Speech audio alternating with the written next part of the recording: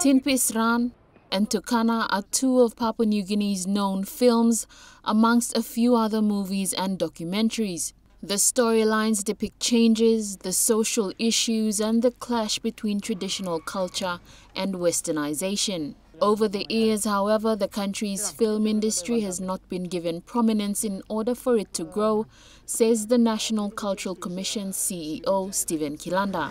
It's a very important industry in this country. Mr. Kilanda said developing Papua New Guinea's film industry is an area his office is looking into. Last week, the National Film Institute's new studio complex was opened and they're now working on getting new equipment.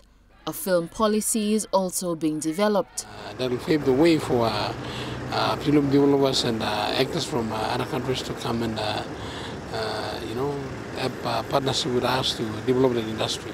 The National Film Institute's director, Michelle Baru, said films are an effective way to inform and educate people, as well as to document and preserve Papua New Guinea's cultural and traditional stories. Government talk lo kisimbe all people, kisimbe ting ting dolman mary, teach him all, help him all grow. We have to use film. And believe plus um, film is a powerful tool. Lucy Kopana, National EMTV News.